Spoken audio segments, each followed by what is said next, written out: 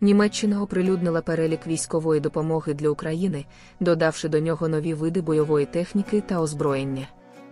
Згідно з оновленим переліком, Збройні сили України отримують 5 гусеничних машин Ортхок у варіанті для інженерних робіт та 10 у командно-штабному виконанні. Також у списку з'явилося 6 інженерних машин Визант 1 тепер загалом 32 одиниці, та два мостоукладники Бівер, що підвищило їх загальну кількість до 17.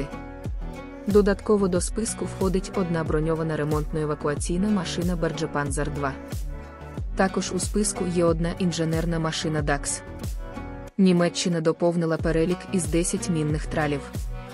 Пакет допомоги також включає безпілотники 14 одиниць віку, 30 одиниць RQ, 35 Хедран, а також антидронові системи, включаючи 5 систем виявлення та радіоелектронної боротьби та 180 систем виявлення дронів RF-360 FieldKits.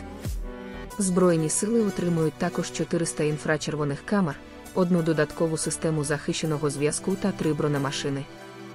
Логістичний список поповнили 6 машин Mercedes-Benz ZT Ross. Ставте лайк, коментуйте, підписуйтесь на канал. Підтримуйте канал гривнею через платформу Дяка. Деталі в описі до відео. Слава Україні!